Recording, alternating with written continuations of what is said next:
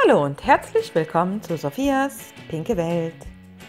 Heute möchte ich euch zeigen, wie ihr euch einen ganz leckeren Vanille-Himbeer-Dessert zu Hause selber macht, der auch noch super toll aussieht, schräg im Glas geschichtet. Zeige ich euch.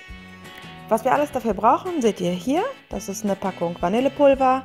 Da braucht man immer noch 500 Milliliter Milch dazu, 40 Gramm Zucker, das sind 6 gehäufte Esslöffel, Himbeeren zum Dekorieren, und wer möchte, nimmt zum Beispiel noch Himbeergitterspeise, wie ich es gemacht habe. Die müsst ihr dann noch mit 500 Milliliter Wasser anrühren. Oder ihr könnt auch einen Erdbeerpudding nehmen. Oder wer es halt nicht gerne pink möchte, nimmt einfach einen Schokoladenpudding. Sieht auch toll aus. So, dann wollen wir anfangen. Ihr müsst den Pudding ganz normal nach Packungsanweisung hinten zubereiten. Das heißt, ihr kocht erstmal die Milch, rührt das Pulver an mit dem Zucker und kocht den ein paar Minuten. So, dann nehmt ihr euch Gläser. Ich habe jetzt einfach so schöne ähm, Tulpen genommen. Das sind Whiskygläser, weil es einfach schöner aussieht. Ihr könnt aber auch ganz einfache Dessertschälchen nehmen. Damit der Pudding auch schräg gelingt, ähm, nehmt ihr, ich habe hier eine Muffinform genommen.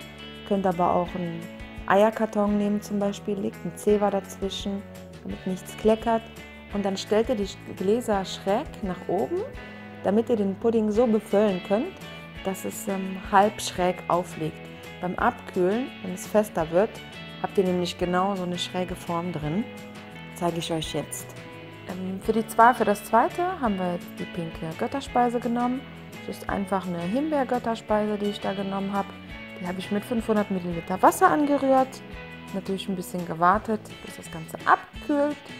Und habe dann äh, meine, mein Vanilledessert genommen vorher vier Stunden im Kühlschrank abgekühlt ist, damit sich das nicht vermischt, damit ihr nämlich eine feste Masse habt.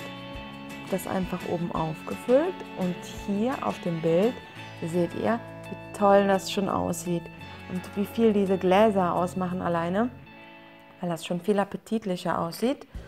Und dann könnt ihr jetzt noch Himbeeren nehmen zum Dekorieren.